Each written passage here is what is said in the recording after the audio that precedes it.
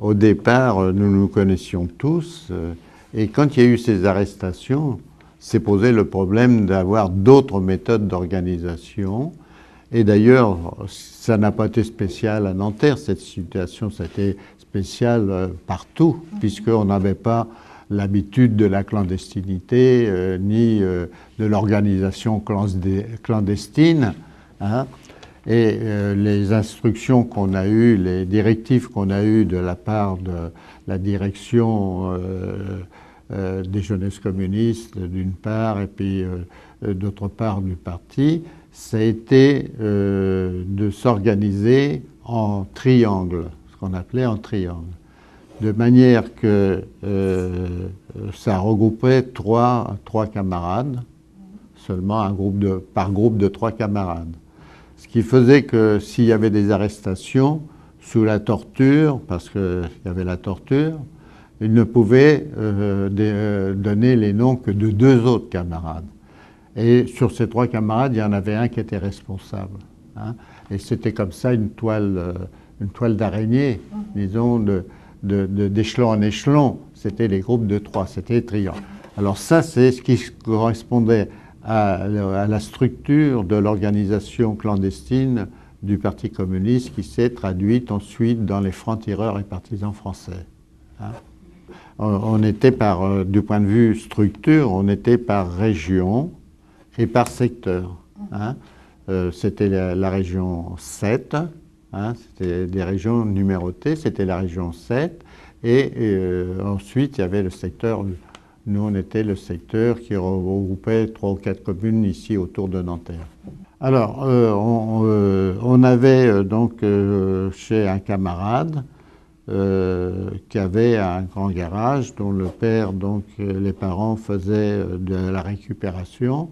Et il y avait un petit pavillon dans lequel on avait installé notre matériel.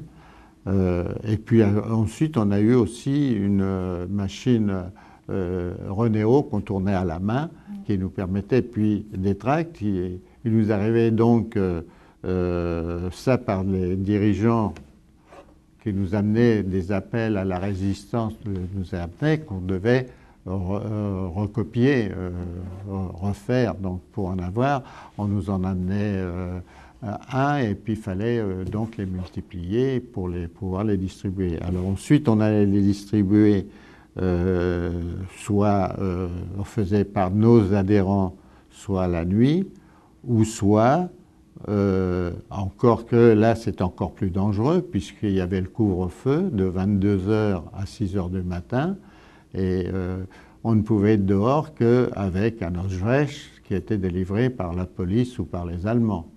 Hein. Et donc, c'était encore plus dangereux. Donc, quand euh, on pense qu'aujourd'hui, ces, ces tracts, cette publicité, on en a plein les boîtes aux lettres, Là, on risquait la mort, euh, on, risquait au minimum l'arrestation, l'emprisonnement. D'abord, euh, c'était la bastonnade, la torture pour vous faire parler.